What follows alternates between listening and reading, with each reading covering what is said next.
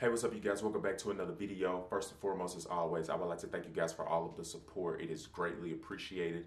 Now, today's video, I do have a review for you guys. Now, if you have been up to date and checking out my previous videos, you'll know that I just built me a PC. And the motherboard that I am using is the B450 DS3H V2. Okay, so I will be giving you guys a review and the pros and cons a little bit on that. Now, in today's times, you know, when it comes down to building a PC, prices of these parts do fluctuate quite often. Now, I was able to snag this one for $79. It was $86.50 after taxes. So it is very affordable when it comes down to motherboards because the one that I did have at first, which was a B550 Gaming Plus by MSI, it was $158.99. It was like 172 or 174 after taxes. So this is super affordable compared to a whole bunch of options out there. Now, this is what the box looks like, okay? Again, the B450 DS3HV2, okay? It is a micro, so it will fit in almost any case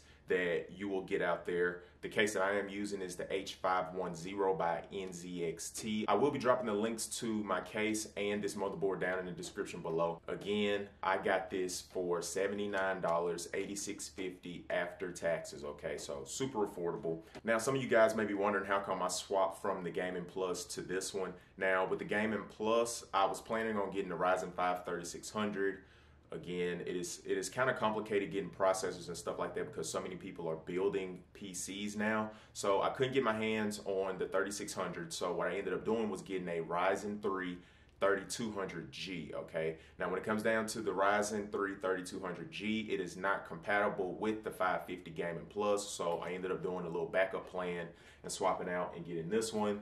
Now when it comes down to this motherboard it is actually pretty good if you're trying to future proof. Future proofing really does not exist because things change so much. They're always releasing newer and more updated versions of technology. So when it comes down to future proofing, there's only so much you can do. But with that being said, this motherboard is compatible with 1000, 2000, and 3000 series Ryzen's. Now, when it comes down to like the Ryzen 7 and the Ryzen 9, you may have to do like a little BIOS update.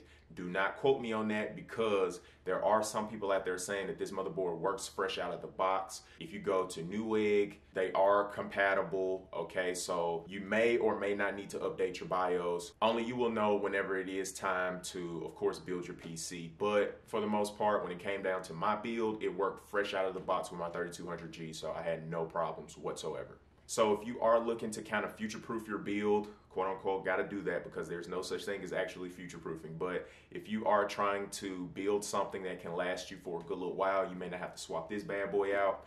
This is the way to go. Again, 1000, 2000, 3000 series off the bat, you're good to go fresh out of the box, okay? Now I guess I'll just go ahead and get into the pros. So when it comes down to the pros of this motherboard, I guess one pro is that it is a micro. So with it being a micro, it can fit in basically any case, all right? You will not have any problems. So whatever case that you are looking at, more than likely this will actually fit with no issues whatsoever. Price is another pro. Again, 86.50 after taxes is not that bad at all. If you go in Best Buy, you're looking at 160 and up, okay? And it's even motherboards out there that are like, you know I'm saying, in the 200s, almost $300, if not $300 and more, okay? So when it comes down to only having to spend $80 on this bad boy, I mean, you just cannot beat it. It is one of the cheapest motherboards you will get that can still run older stuff and newer stuff, okay? And I mean, another pro, it basically does everything that you will need it to do, okay? I'm not just like a super computer guru or whatever. I, like, I am a beginner. That's how come I am making this video, just to help you other guys that may be in my shoes that, you know, trying to learn as you go. So it basically does everything that you need it to do. Now, you cannot build anything super crazy, but I'll end up touching on that in the cons. So now on into the cons with bringing that up. You can't build anything super crazy because this only can support up to two fans. Like I said in my last video, I actually have two fans that came in my case. And I have, of course, my CPU fan, only the CPU fan and my top fan is working because I have nowhere else to plug up my third fan. So that could be one con. So if you're trying to go, you know, I'm saying fans all over the place to light it up completely and just have a very aggressive, like dope looking PC, you won't be able to run that with this one because, I mean, you just can't plug up all of those fans, all right? The most fans you can honestly have is like two. Now, another con is also this does not have Wi-Fi or Bluetooth. So with me, I'm honestly not even worried about Wi-Fi. That is another reason why I ended up getting this because I'm running straight Ethernet.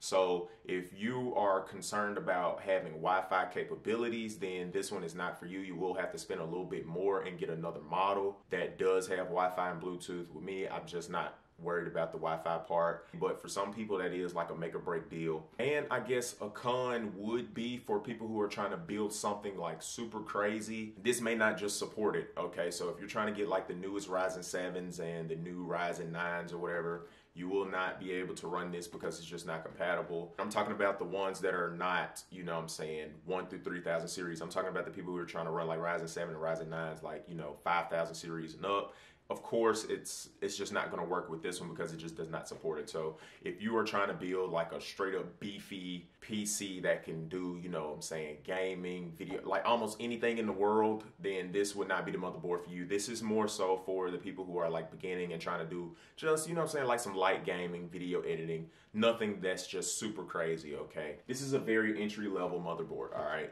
Just to keep it all in a short story all right if you're building your first build just like me. Uh, this is the easiest way to go. Overall, honestly, my PC was only like $484 and that's like after taxes. So well under $500 I got this PC built. It works like a charm, it runs like a champ. So I honestly cannot complain with this motherboard. And I mean, again, I cannot emphasize this enough. This is only a $79 motherboard. You cannot beat that. You go in Best Buy, you're easily about to spend upward towards $200, if not more. And if you go online, same thing. Like you can go on Amazon, they're still gonna hit you for, you know I'm saying, 150, 200.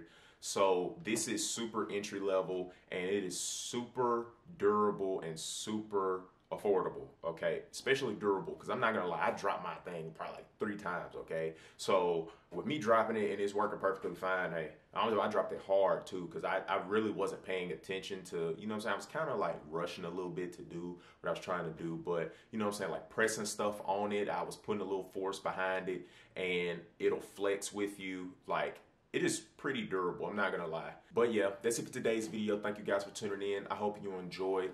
Uh, that is my review on the B450 DS3HV2 motherboard. Again, it is a micro, so this can fit in almost any case that you may like or you may want. It has enough ports to get the basics in there. You can't do anything super beefy. It is super affordable. It is super durable. In 2021, in today's times, right now, I feel like you just can't beat it you need to go ahead and snag it. It works for most of the CPUs that are out currently. Overall, you just can't beat it, okay? Just being honest. Now, there's probably some people out there that are like super computer gurus and know way more information about this than I do, but I'm just making this review off of my experience and basically I'm just learning as I go, just like a lot of other people out here. So, look, even if you don't want it, at least check it out and look into it, especially if you are building your first PC. At least look into it.